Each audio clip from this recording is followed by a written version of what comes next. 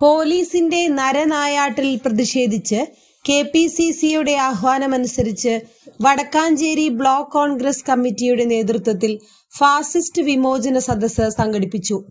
Vadakkanchery K Karunakaran സ്മാരക bus stand പരിസരത്ത് സംഘടിപ്പിച്ച സമരപരിപാടിയിൽ block Congress president P N Jayadeep അധ്യക്ഷത വഹിച്ചു.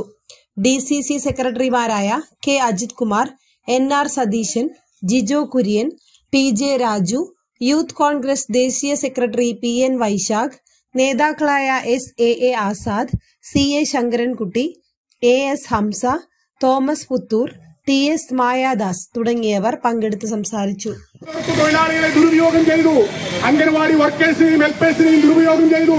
ആശാപ്രവർത്തകരെ ദുരുപയോഗം ചെയ്തു.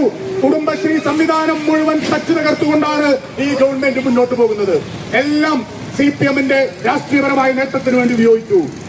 എല്ലാം രാഷ്ട്രീയപരമായി സി പി എം ഉപയോഗപ്പെടുത്തിക്കൊണ്ടിരിക്കുന്നു. ഇവിടെ ഒരുപാട് ജനപ്രതികൾ മുനിസിപ്പൽ പ്രതിപക്ഷ നേതാവ് ഉൾപ്പെടെയുള്ള ജനപ്രതികളുടെ ഈ ഇവിടെ ഈ സാമ്പത്തിക വർഷം തീരാൻ ഇനി നിസ്സാര മാസങ്ങൾ മൂന്ന് മാസം ശേഷിക്കെ മൂന്ന് മാസങ്ങൾ മാത്രം ശേഷിക്കെ മൂന്നാമത്തെ ഗഡു കൊടുക്കേണ്ട സമയം കഴിഞ്ഞു.